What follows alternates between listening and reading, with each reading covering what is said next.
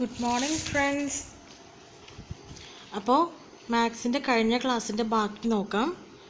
അഞ്ചാമത്തെ ക്വസ്റ്റ്യനാണ് ഞായറാഴ്ച മുതൽ വ്യാഴാഴ്ച വരെയുള്ള ദിവസങ്ങളിൽ ഒരാളുടെ ചെലവ് കണക്കാക്കിയപ്പോൾ ഒരു ദിവസത്തെ ശരാശരി ചെലവ് നാനൂറ് രൂപയായിരുന്നു. വെള്ളിയാഴ്ചത്തെ ചെലവ് കൂടി കൂട്ടിയപ്പോൾ ശരാശരി ചെലവ് നാനൂറ്റി മുപ്പത് രൂപയായി. വെള്ളിയാഴ്ചത്തെ ചെലവ് എത്രയായിരുന്നു? ശനിയാഴ്ചത്തെ ചെലവ് കൂടി കൂട്ടിയപ്പോൾ ശരാശരി ചെലവ് മുന്നൂറ്റി തൊണ്ണൂറ്റോ തൊണ്ണൂറ് രൂപയായി കുറഞ്ഞു. ശനിയാഴ്ചത്തെ ചെലവ് എത്രയാണ്? അപ്പോൾ ഞായറാഴ്ച മുതൽ വ്യാഴാഴ്ച വരെയുള്ള ദിവസങ്ങളിൽ ഒരാളുടെ ചിലവ് നോക്കിയപ്പോൾ നാനൂറ് രൂപയായിരുന്നു. അപ്പോയോ വെള്ളിയാഴ്ച കൂടി ചേർത്തപ്പോഴോ? വെള്ളിയാഴ്ച ചിലവ് കൂടി നോക്കിയപ്പോൾ ശരാശരി ചിലവ് എത്രയായി? നാനൂറ്റി മുപ്പത് രൂപയായി. അപ്പോൾ അങ്ങനെയാണെങ്കിൽ വെള്ളിയാഴ്ചത്തെ ചിലവ് എത്രയാണ്? പിന്നെ ചോദിച്ചേക്കണതോ? ശനിയാഴ്ചത്തെ ചിലവ് കൂടി കൂട്ടിയപ്പോൾ ശരാശരി ചിലവ് എത്രയാണ് മുന്നൂറ്റി തൊണ്ണൂറ് രൂപയായിട്ട് കുറഞ്ഞു. അപ്പം അങ്ങനെയാണെങ്കിൽ ശനിയാഴ്ചത്തെ ചിലവ് എത്രയാണ്? അപ്പം അത് ശനിയാഴ്ച മുതൽ ഞായറാഴ്ച മുതൽ വ്യാഴാഴ്ച വരെയുള്ള ദിവസങ്ങളിൽ ഒരാളുടെ ചിലവ് തന്നിട്ടുണ്ട് അല്ലേ? ശരാശരി ചിലവ് തന്നിട്ടുണ്ട്. എത്രയാണ്? നാനൂറ് രൂപ തന്നിട്ടുണ്ട്. പിന്നെയോ? അപ്പം ഇതിൽ നിന്ന് നമുക്ക് എന്ത് ചെയ്യാം ആകെ ചിലവ് കണ്ടുപിടിക്കണം. അത് കഴിഞ്ഞിട്ട് ഞായറാഴ്ച മുതൽ വെള്ളിയാഴ്ച വരെയുള്ള ചില ശരാശരി ചിലവ് തന്നിട്ടുണ്ട്. നാനൂറ്റി മുപ്പത് രൂപ എന്ന് അപ്പോൾ അതിൽ നിന്നും എത്ര? ആകെ ചിലവ് കണ്ടുപിടിക്കണം അല്ലേ? എന്നിട്ട് വേണം നമുക്ക് ബാക്കിയൊക്കെ കണ്ടുപിടിക്കാൻ. അപ്പം ആദ്യം എന്താ? ആകെ എത്ര ദിവസമുണ്ട്? ഞായറാഴ്ച മുതൽ വ്യാഴാഴ്ച വരെ എത്ര ദിവസമുണ്ട്? അഞ്ച് ദിവസമുണ്ട്. ഞായറാഴ്ച മുതൽ വ്യാഴാഴ്ച വരെ അഞ്ച് ദിവസമുണ്ട്. അപ്പോൾ അവിടുത്തെ ശരാശരി എത്രയാണ്? ശരാശരി നാനൂറ് രൂപയാണ്. അപ്പം ആകെ ചെലവ് എന്ന് പറയുമ്പോൾ എങ്ങനെ കണ്ടുപിടിക്കാം? ആകെ ദിവസം ഇന്റു ശരാശരി. ആകെ ദിവസവും ഇന്റു ശരാശരി. അപ്പോൾ ഇത് നമ്മൾ എന്താ? നേരത്തെ കണക്കാക്കിയതാണ്. അല്ല നേരത്തെ നമ്മൾ കണ്ടുപിടിച്ചിട്ടുള്ള കാര്യമാണ്. എന്താ ആകെ ശരാശരി കണ്ടുപിടിക്കുന്നത് എങ്ങനെയാണെന്നുള്ളത് കണ്ടുപിടിച്ചിട്ടുണ്ട്. അപ്പം എത്രയാണത്? ആ നാനൂറ് ഇന്റു അഞ്ച് രണ്ടായിരം. ഇനി വെള്ളിയാഴ്ച കൂടി ചേർന്നിട്ടുണ്ട് എങ്കിൽ വെള്ളിയാഴ്ച കൂടി ചേർന്നിട്ടുണ്ടെങ്കിൽ അപ്പം നം ദിവസങ്ങളുടെ എണ്ണം എത്രയാണ്? ഞായറാഴ്ച മുതൽ വെള്ളിയാഴ്ച വരെ. എത്ര ദിവസങ്ങൾ ആറ് ദിവസമുണ്ട്. ശരാശരി എത്രയാണ്? നാനൂറ്റി മുപ്പതാണ് ഞായറാഴ്ച മുതൽ വെള്ളിയാഴ്ച വരെയുള്ള ദിവസങ്ങൾ അല്ല ശരാശരി എന്ന് പറഞ്ഞാൽ നാനൂറ്റി മുപ്പതാണ്. അപ്പോൾ ആകെ ചിലവെന്ന് പറയുമ്പോൾ ആ ഞാൻ വെള്ളിയാഴ്ച വരെയുള്ള ആകെ ചിലവെന്ന് പറയണത് നാനൂറ്റി മുപ്പത് ഇന്റു ആറ്. എത്രയാണത്?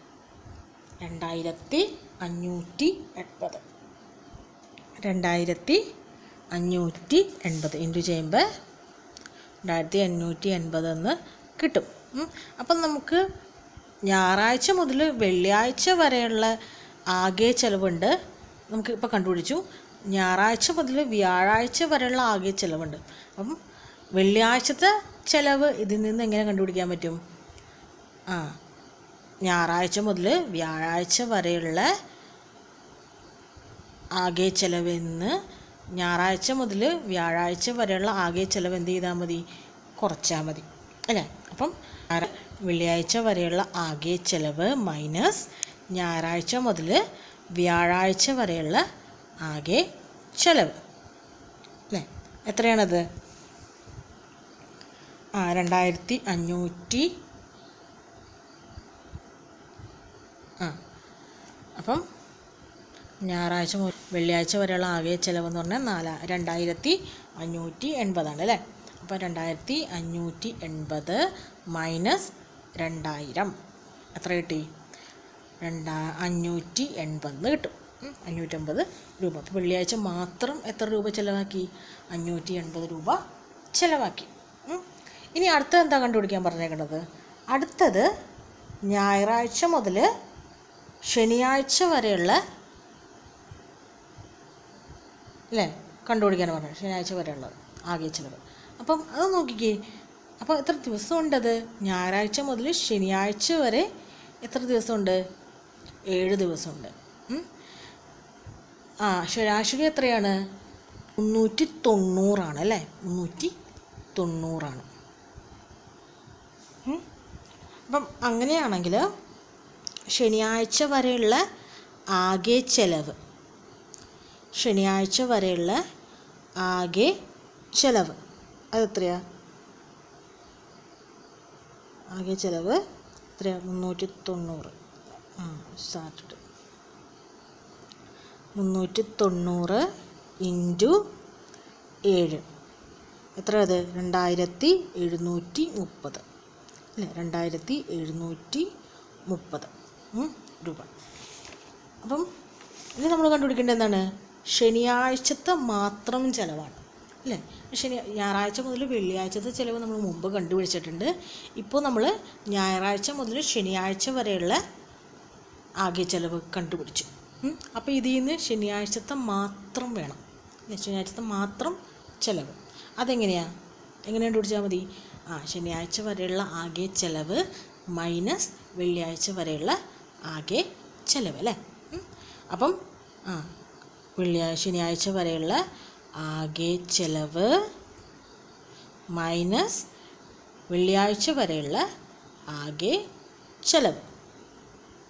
അതെത്രയാണ്?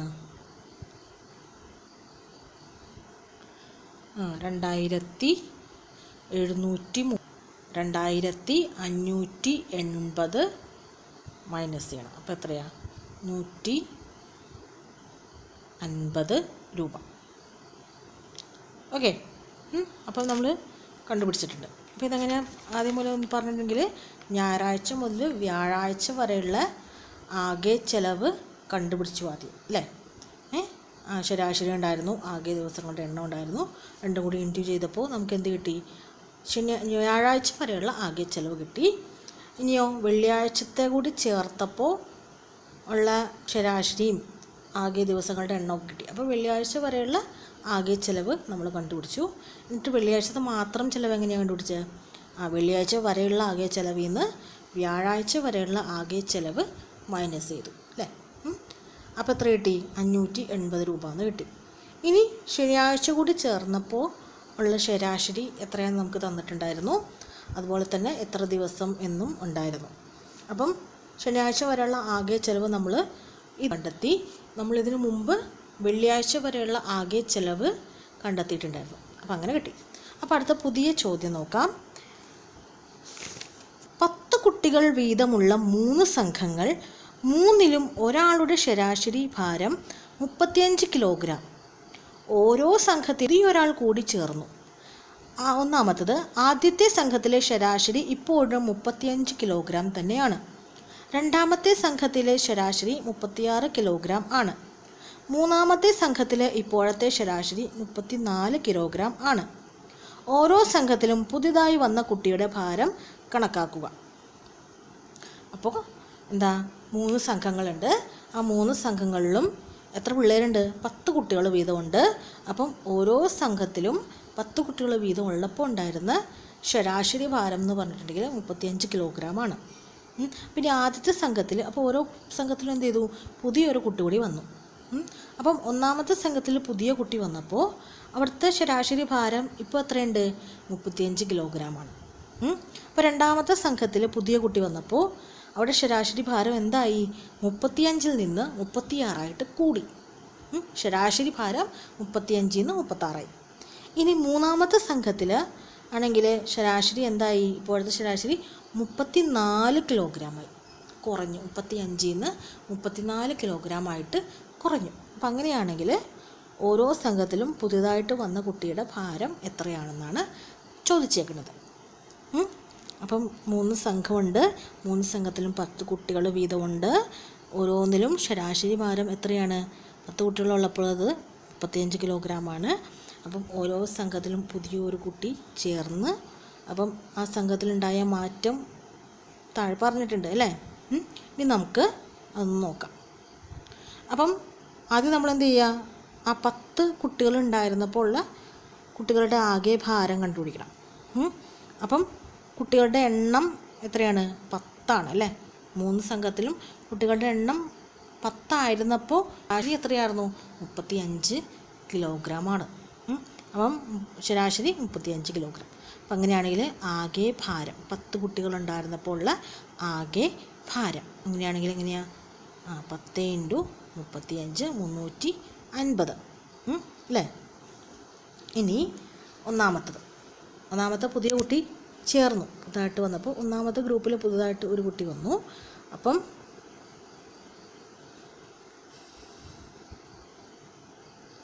ഓക്കെ. അപ്പോൾ ഒന്നാമത്തേൽ പുതിയതായിട്ട് ഒരു കുട്ടി കൂടി വന്ന് ചേർന്നു. അപ്പം കുട്ടികളുടെ എണ്ണം എത്രയായി? പതിനൊന്നായി അല്ലേ?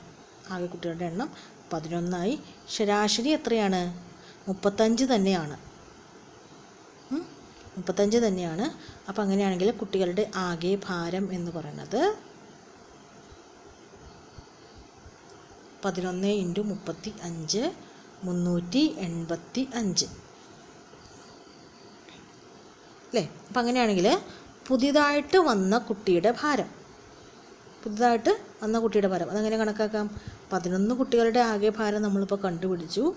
പത്ത് കുട്ടികളുണ്ടായിരുന്നപ്പോൾ ഉള്ള ആകെ ഭാരം നമ്മൾ മുമ്പ് കണ്ടുപിടിച്ച് വെച്ചിട്ടുണ്ട്. അപ്പം പുതുതായിട്ട് ഒരു കുട്ടി കൂടി വന്നിട്ടുണ്ട് എങ്കിൽ ആ കുട്ടിയുടെ ഭാരം എന്ന് പറയുന്നത് പതിനൊന്ന് കുട്ടികളുടെ ആ ഭാരത്തിൽ നിന്ന് പത്ത് കുട്ടികളുടെ ആകെ ഭാരം കുറയ്ക്കണം. ഭാരം മൈനസ് പത്ത് കുട്ടികളുടെ ആകെ ഭാരം.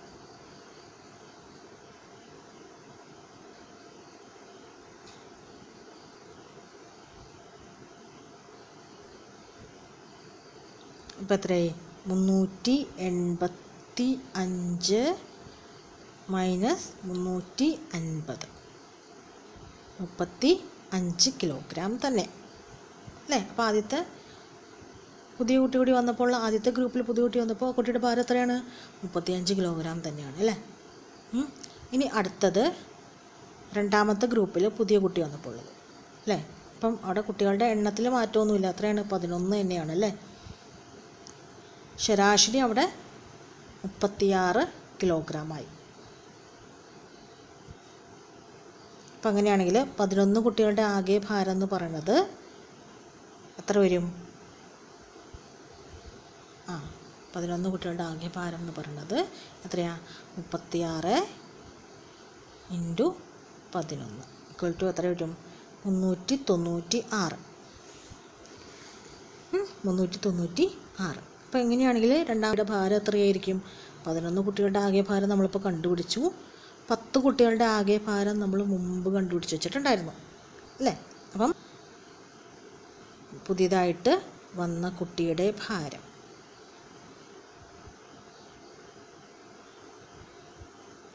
സമം പതിനൊന്ന് കുട്ടികളുടെ ആകെ ഭാരം. പതിനൊന്ന് കുട്ടികളുടെ ആകെ ഭാരം മൈനസ് പത്ത് കുട്ടികളുടെ ആകെ ഭാരം.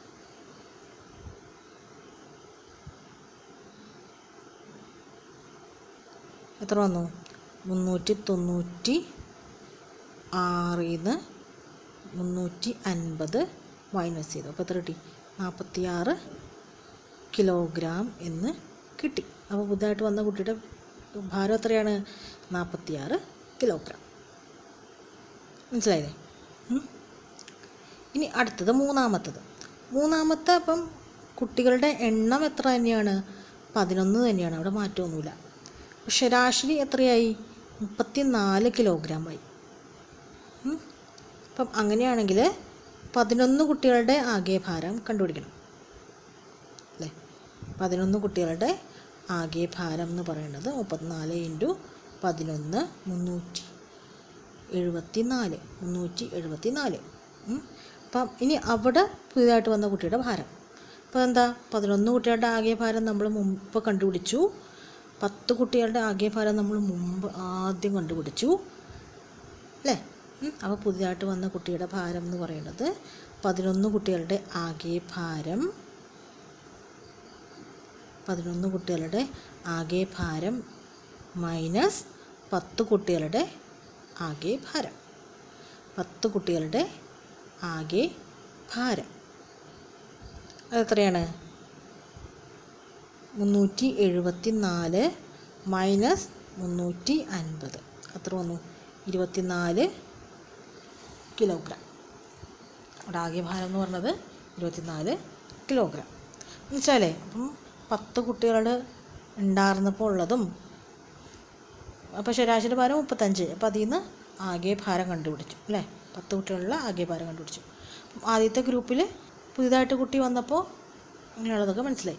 ഇനി അടുത്ത ചോദ്യം നോക്കാം. അടുത്ത ചോദ്യം ഹോംവർക്കാണ് അപ്പം ചോദ്യം നമുക്ക് നോക്കാം.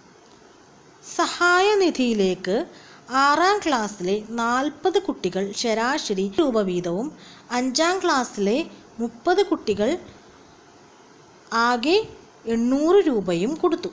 രണ്ട് ക്ലാസ്സിലെയും കുട്ടികളെ ഒരുമിച്ചെടുത്താൽ അവരിൽ ഒരാൾ ശരാശരി എത്ര രൂപ കൊടുത്തു. അപ്പം ഒരു ഒരു ക്ലാ ഒരു സഹായനിധിയിൽ ആറാം ക്ലാസ്സിൽ നാൽപ്പത് കുട്ടികളുണ്ട്. ആ കുട്ടികൾ അമ്പത് രൂപ ശരാശരി അൻപത് രൂപ വീതം കൊടുത്തു. അഞ്ചാം ക്ലാസ്സിലാണെങ്കിൽ മുപ്പത് കുട്ടികളാകെയുണ്ട്. ആകെ അവർ കൊടുത്ത രൂപ എത്രയാണ് എണ്ണൂറ് രൂപ കൊടുത്തു. ആകെ എണ്ണൂറ് രൂപ.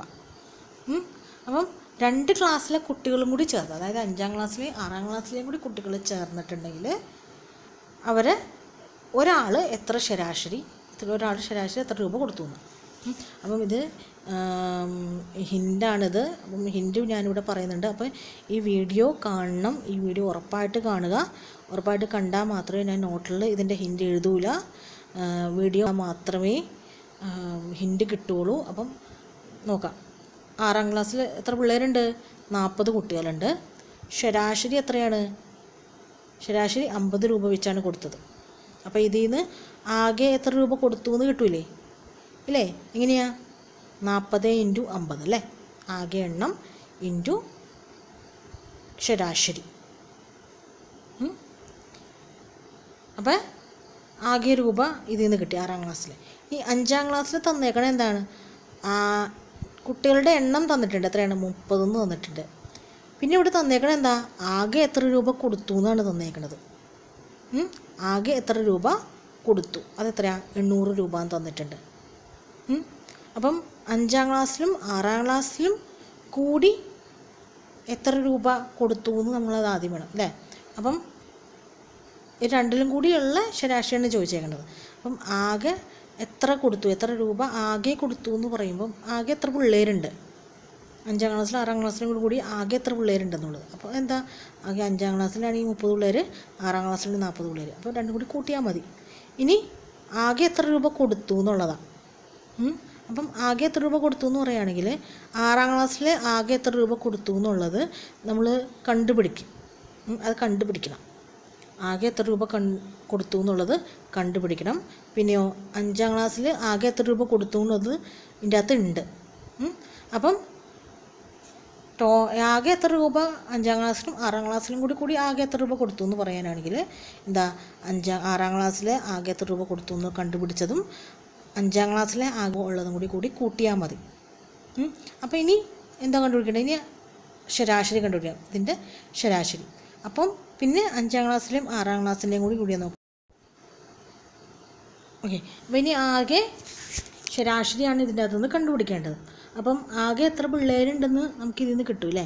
ഇത്രയാണ് മുപ്പത് പ്ലസ് നാൽപ്പത് അത്രയാണ് എഴുപതെന്ന് കിട്ടും. ഇനി ആകെ എത്ര രൂപ കൊടുത്തു എന്നുള്ളത്? അത് അഞ്ചാം ക്ലാസ്സിൽ ആകെ എത്ര രൂപ കൊടുത്തു എന്നുള്ളതുണ്ട്.